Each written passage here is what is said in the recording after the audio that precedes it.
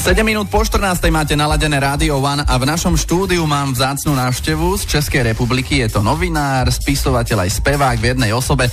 No dnes je tu predovšetkým ako spisovateľ, pretože k svojim deviatim publikáciám pridal ďalšiu. Nazvem to jubilejnú desiatu, volá sa Trojka. Hostom v Rádiu One je Richard Sacher. Ahoj, vítajú nás. Ahoj, čau. Richard, ty si s nami predovšetkým v Čechách, to je jasné, ale verím, že sa nájdú poslucháči, ktorí už o tebe počuli, pretože na Slovensku si sa objavoval pravidelne.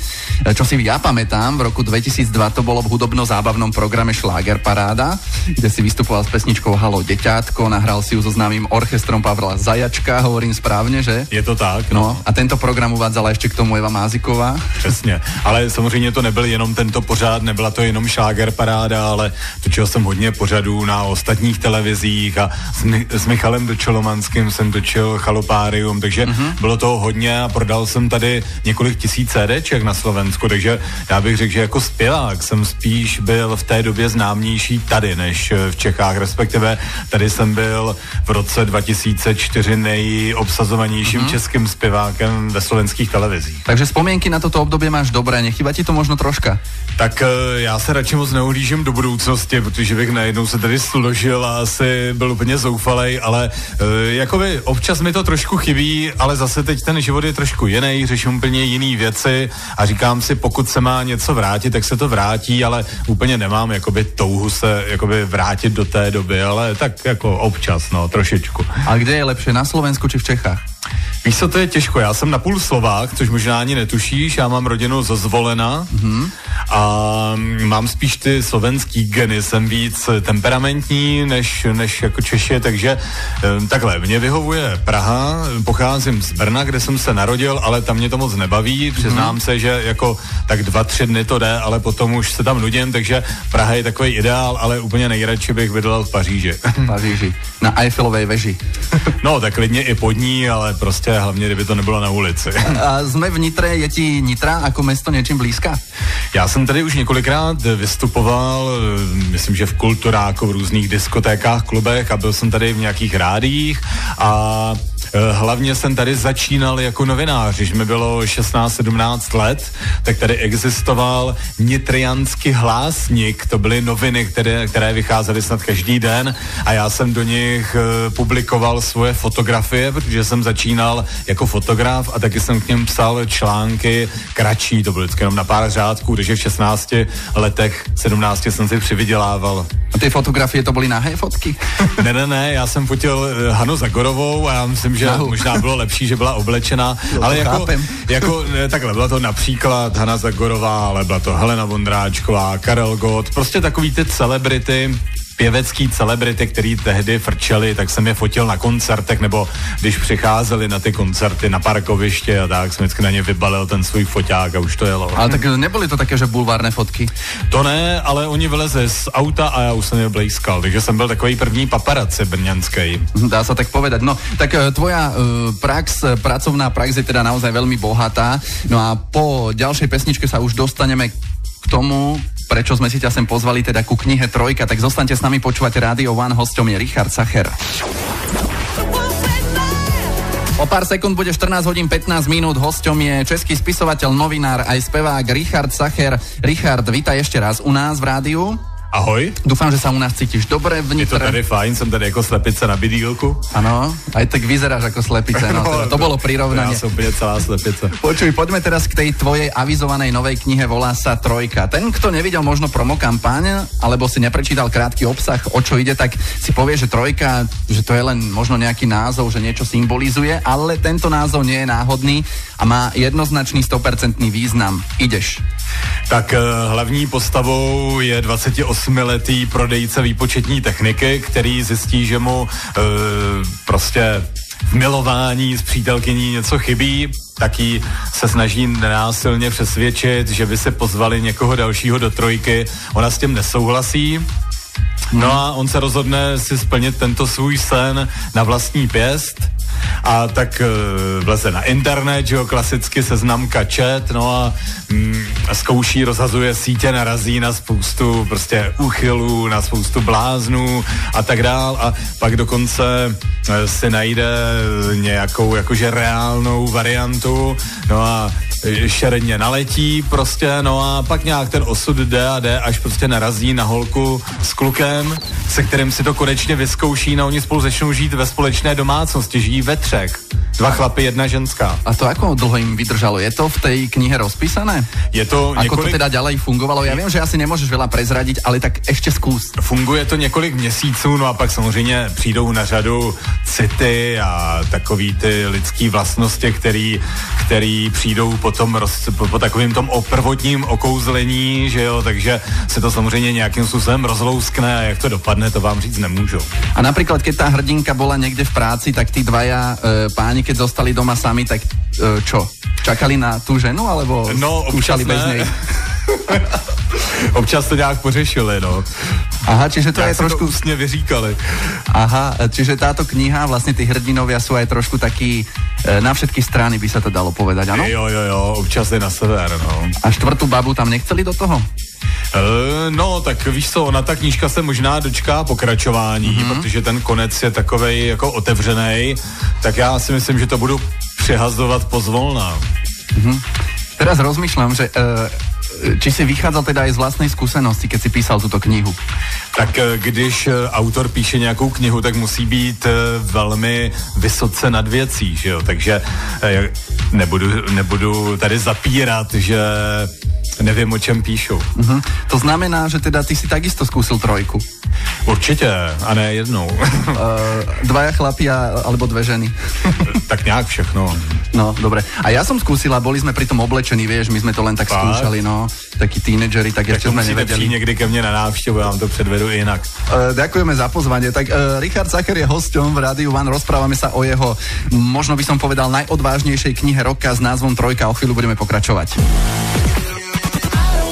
14.25, počúvate Rádio One, hráme si všetky hity. Dnešným hostom je český spisovateľ Richard Sacher. Rozprávame sa o jeho novej knihe, ktorá má názov Trojka. Už sme teda povedali, že je to eroticko-psychologický román. A čo som si zapamätal, tak sa dali nejako dokopy traja mladí ľudia, dvaja chlapi, jedna žena, že? Přesně tak. No a žili spolu v domácnosti, až kým nepomreli.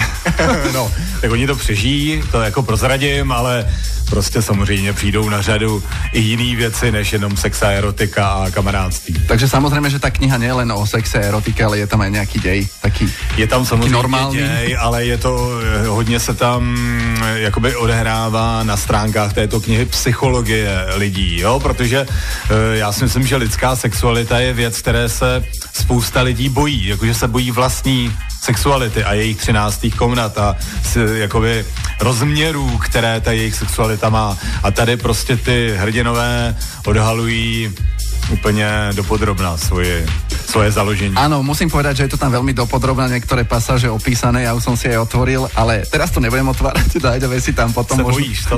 Bojím sa, že čo tam náhodou bude a kebyže to prečítam. No, e, chcel som sa opýtať, že či vôbec táto kniha má aj taký, by som povedal, mm, výchovný zámer, alebo že teda možno poučí ľudí? Tak eh, výchovný určitě, nebo takhle, výchovný jako takový to ne, a spíš poučný. Že je to učebnica do školy. To ne, ale eh, já tvrdím, že to je kniha, která boří hranice mezi sexuálními orientacemi. Jo. Řeší se tam třeba bisexualita úplně dopodrobná, se tam řeší v jedné kapitole, co to znamená, že určití eh, sexuologové známí tvrdí, že je to vrchol eh, sofistikovanosti, ke které eh, lidstvo spěje a že to dřív bylo normální, ale že teď vlivem různých náboženství a různých prostě, mm, já nevím, zřízení státních eh, se lidi prostě tlačí do určitých škatulek a to nejen v sexu, ale samozřejmě ve všech různých názorových oblastech, takže prostě řada lidí se chová nepřirozeně, protože se bojí svého vlastního ega, Bojí které sa je to dať von do země. zo seba. No, e, táto kniha dostala titul najodvážnejšia kniha roka. Ty si mal teda v pláne sa v nej tak odviazať? No původně ne, původně jsem chtěl být teda větší beránek, ale pak uh, jsem prostě uh, psal i za úplňku hodně tuto knihu, tak jsem si řekl, když už tak už, tak to rozjedu. Ale určitě to není kniha nějaká bulvární, nebo že by měla vysloveně za každou cenu někoho zaujmout. Jo, ale myslím si, že tam je všechno, co k životu patří a je to trošku jiný život, než třeba většina uh, lidí žije, anebo si neodvažuje žít tady tento život. Ale je tam i to poučení, co z toho může vzejít. Takže lidi vlastně třeba zjistí, co ty hrdinové do detailu prožijí, když se rozhodnou splnit nějaký ty svoje tajné sny nebo cíle a pak taky vidí, jak dopadnou. Mm-hmm. Prostě, no. Čiže možno má někdo takéto plány, že by to zkusil, ale keď si prečíta tuto knihu, tak si to možná i rozmyslí. Může se to rozmyslet, ale samozřejmě ne každý musí dopadnout tak, jako dopadne v téhle knize. Já neříkám, že ty lidi dopadnou nějak špatně, to ne, ale, ale prostě je to jedna z variant, jak to může skončit, když se lidi rozhodnou žít jinak, než je dáno někde v Bibli nebo tak. A možno kto si to prečíta, tak ho to možno zasa naopak naštartuje a nakopne a naberie odvahu. Že někdo to... bude hrozně naštvaný, někdo bude nadšený a někdo tak neutrálně, když takových bude asi nejmín, kteří no, tak, budou neutrální. Ano, tak prečo ne, vyskúšajte si trojku, pohode aj počas pesničky od Black Eyed Peas. Radio One. Žiadne keci ráno. 14 hodín 38 minút počúvate Radio One, to bola skladba s názvom Paso Sak Noel a hosťom je nie Sak Noel, ale Richard Sacher, to je skoro také podobné, že? Přesně tak.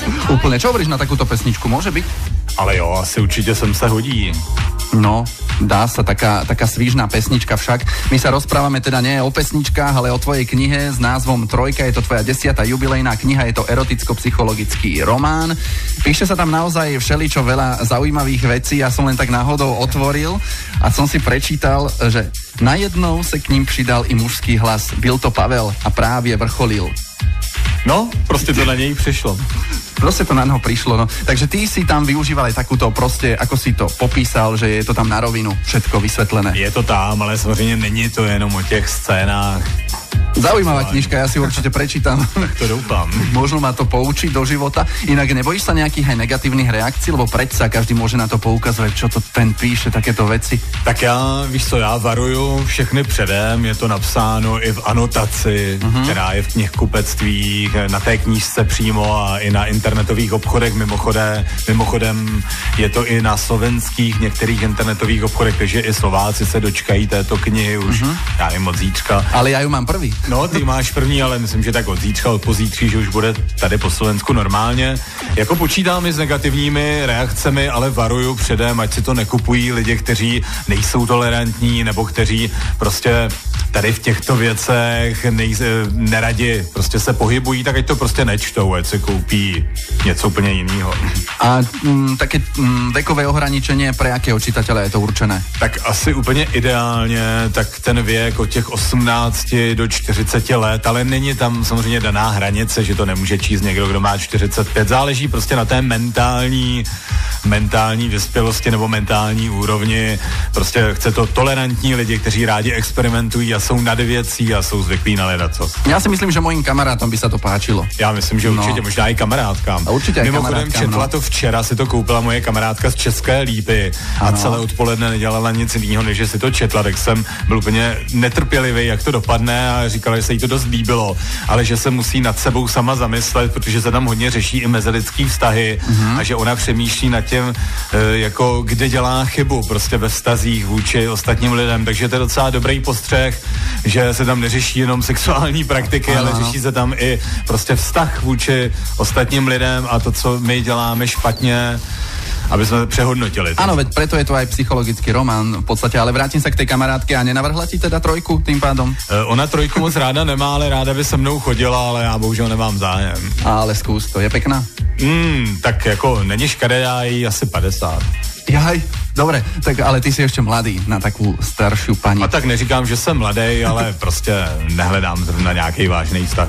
Počuj, v té knihe si vlastně vymyslel příběh lidí, kterým v posledních radovánkách teda něco chýba, hledali to inde. A si teda povedal, že si vychádzal z vlastnej skúsenosti hmm. a vrátim sa k tým negatívnym reakciám, teda možno nejaké budú, nebudú, ale ja mám taký pocit, že v súčasnosti práve verejnosť upútajú takéto kvázi šokujúce veci, e, lebo keby si napísal taký sladký románik, tak možno nikoho by to ani nezaujalo, ale toto keď je pro proste všetko na rovinu povedané, tak asi to zaujme. Lebo aj teraz, keď e, vo svete videoklipy, speváčky sa vyzliekajú, asi to predáva najviac. Tak já si myslím, že spousta lidí má určité zábrany, protože ne každý se pohybuje v tolerantní společnosti. Něco jiného žít v Praze, kde, já nevím, můžete mít růžový tričko, můžete prostě se vodit za ruku s kýmkoliv. Neříkám, že úplně všude, ale prostě je tam úplně jiný, jiný život, než když, já nevím, ve zvolenu prostě děláte někde ostudu na náměstí například. Takže prostě je to taková jakoby inspirace, kam až člověk může zajít a i trošku si z toho vzít nějaký to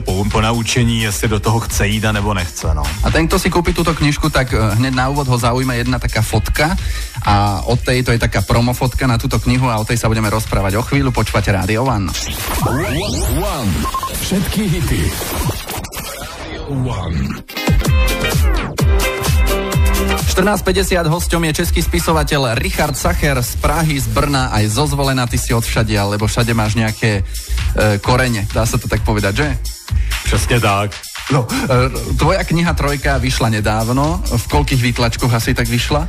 Uh, takhle, eh, lidi, kteří se v tom nepohybují, tak no. uh, nevědí, jak to normálně chodí, ale jenom tak nastíním, většinou romány vycházejí tak 1500 až 2000 kusů a asi tak pět nejslavnějších autorů v Čechách vydává třeba 20 až 40 tisíc. Tady tahle zatím vyšla 5 tisíc kusů, ale s tím, že už se počítá, že bude dotisk. Samozřejmě, pokud by nebylo potřeba, tak bude jenom 5 tisíc kusů. No, tak určitě ju najdeme aj na Slovensku. Spomínal si, že teda možno už od zajtra. Koľko, uh, ako dlho si ju písal? Koľko toto trvalo? No takhle, já, já jsem se rozhodl, že budu opravdu psát a psát a nebudu se rozptilovat jinými věcmi, takže byla hotová asi za 6 týdnů ta kniha. Za 6 týdnů, tak to mm. je celkom krátka doba, že? A spomínal som pred pesničkami, že keď si ju otvoria poslucháči, ktorú si, ktorí si ju kúpia, že tam nájdu fotku, e, si tam ty, ešte jeden chalanisko a jedna slečna, čiže trojka. Přesně tak. A ste tam úplne holí, len teda na inkriminovaných miestach si, si zakrývate e, všelijakými pomôckami. Počuj, e, toto nafotiť, tak to bola asi sranda. Byla to sranda a hlavně vzniklo to narychlo. Já jsem si totiž řekl, že e, chci jako, jako spisovatel tady v souvislosti s touto knihou, že se nějak musím vyfotit novou fotku, abych tam nedával fotku 10 let starou. Tak musí být čokujúca ta fotka. Tak jsem si řekl, udělám fotku, která bude mít e, prostě souvislost tady s touto ano. knihou, ale samozřejmě nehledejte přímou souvislost mezi postavami na fotce a mezi postavami v románu. Je to jenom takový jakože parafráze nebo mm-hmm. prostě na, na téma trojka. No. A keď skončilo toto fotenie, tak jste si tu slečnu zobrali na hotel? Ne, ne, my jsme ji poslali domů za maminkou. Ona jí bylo nedávno 18, tak jsme, tak jsme ji poslali domů, aby matka nenadávala, totiž moje dobrá kamarádka. Tak by no tak některý ty mladiství už vědí víc jako ty, kteří mají 30. Jo. Ale já tu holku znám od jejich 9 let, víš. Ale tak to by bylo blbé, že? Takový jiný, no. Počuj, čo krst této knihy? Tak eh, plánuje se, neplánuje? Ty už hmm. jsou naplánovaný dva a já jsem chtěl pozvat všechny posluchače, kteří rádi cestují. Tak pokud zítra máte čas a náladu, přijeďte do Brna, protože zítra v Brně v pět hodin přímo v centru Joštova ulice, jak je Česká Joštova, tak tam knihkupectví e, bude autogramiáda a beseda a potom od 19 hodin klub Ponrepo CZ, tak eh, tam budu křtít knihu ještě, jako že tam bude hrát i roková kapela, mm-hmm. bude tam česká Vanessa May, tam bude hrát na elektronický housle, bude tam herečka ze seriálu Ulice, bude tam vítěz soutěže Big Brother a tak dál. A eh, pražský křes se uskuteční 14. listopadu, to znamená tohoto měsíce, od 18.30 eh, v klubu Jampa Dampa v Praze, takže klub Jampa Dampa v Praze 18.30, takže vás všechny zvou zítra do Brna, anebo do klubu Jampa Dampa. A možno sa budou aj čítať nějaké ukážky z té knihy, ne? Tam e, to naplno... možná taky, ale hlavně tam bude zábava a prostě oslavíme to a můžete opravdu přijít ve všichni, kteří máte rádi zábavu, máte blízko tady k tomuto tématu, tak určitě doražte a nemusíte se vůbec ani někde ohlašovat. A co se týká nějakého krstu na Slovensku?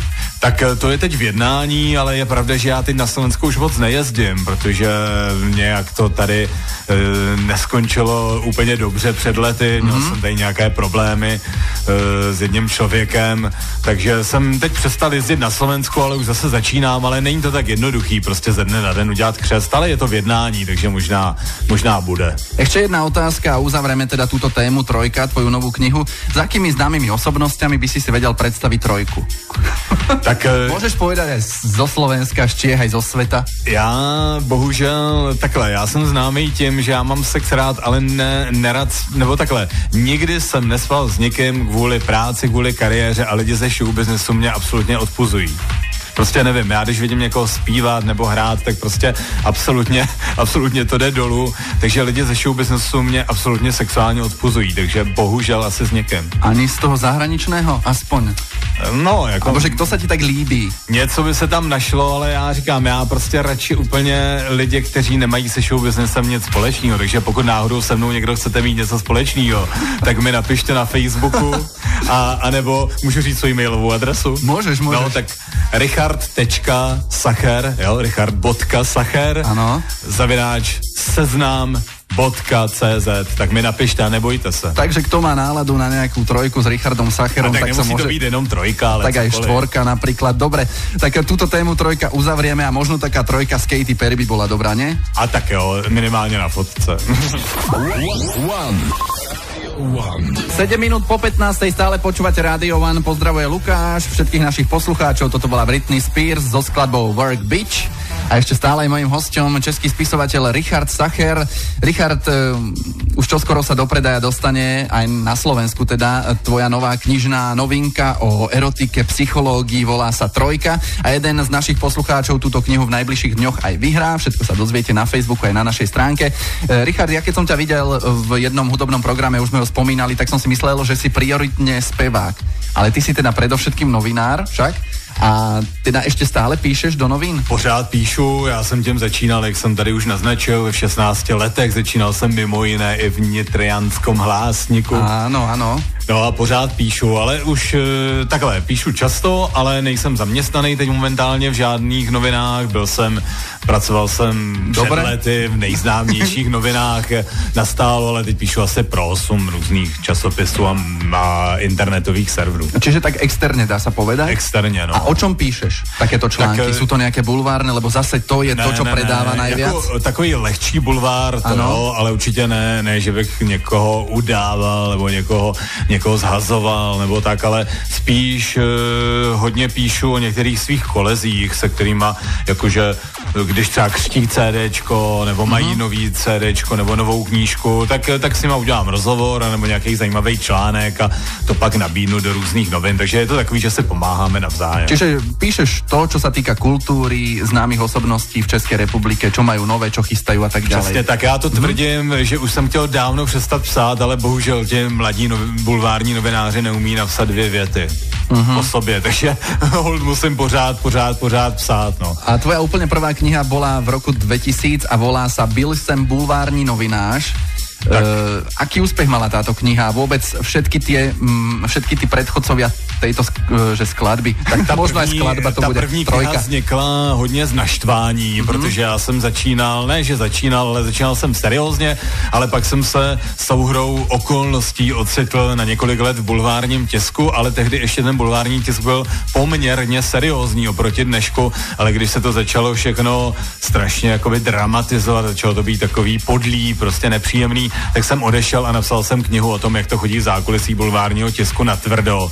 A tím jsem naštval hodně lidí, takže s tím mám do dneška problémy, ale když jsi se ptal na úspěch mých knih, tak poslední dvě knihy měly docela velký úspěch, protože ta předposlední byla dva nebo tři týdny úplně nejprodávanější knihou v Českém, České republice, nejprodávanější knihou týdne, takže asi tři týdny byla na prvním místě a ta úplně poslední, ta byla hned první týden na sedmém místě, ale to jsem vůbec nepropagoval, to jsem mm-hmm. jenom vydal, ani jsem ji nepokřtěl, ani jsem neřekl do novin, že mi vyšla kniha a i tak byla sedmá nejprodávanější a to tam byly i zahraniční tituly, takže a to jsem docela rád. Kdo ví, jako dopadne tato tvoja novinka?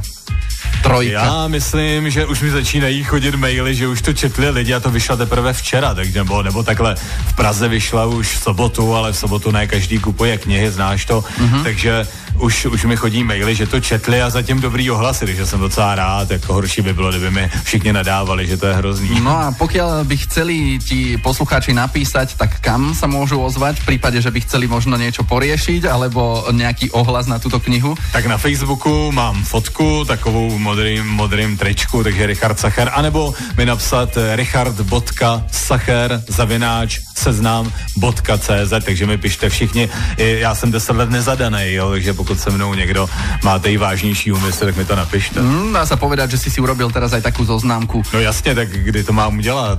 Presne tak. Inak čo ešte, aké plány máš možno, čo sa týka uh, hudby? Teda spomínal som, že tak, si aj eh, zpěvák.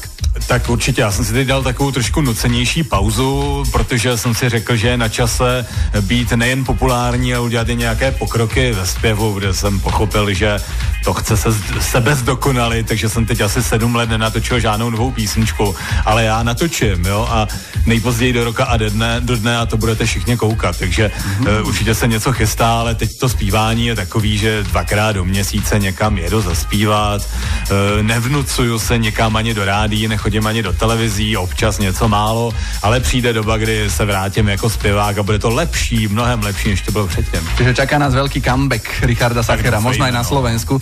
A čo sa týka písania knih, máš opět něco rozrobené?